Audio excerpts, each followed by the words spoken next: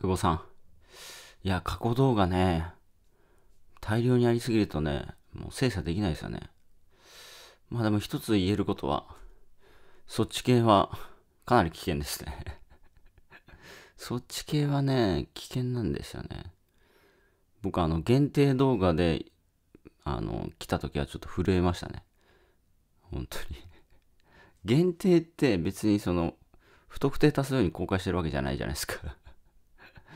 まあ僕はそのサポートで一人に、一人にその動画送っただけなんですけど。そう。吉田さんなんか動画消えてるんですけど、みたいな。で、なんか稽古来てて。だからまあ今後もね、YouTube は、あの、厳しくなるのは目に見えてますよね。昔に比べると。どんどんどんどん規制は強くなると思うんで。うん。だからなんですかね、前、前より、まあ自由にこう、発信はどんどんできなくなりますよね。うん。でもまあ、その、なんですか、普通に喋ってるぐらいだったらね、まあ特に問題はないとは思いますけど、ジャンルっすよね。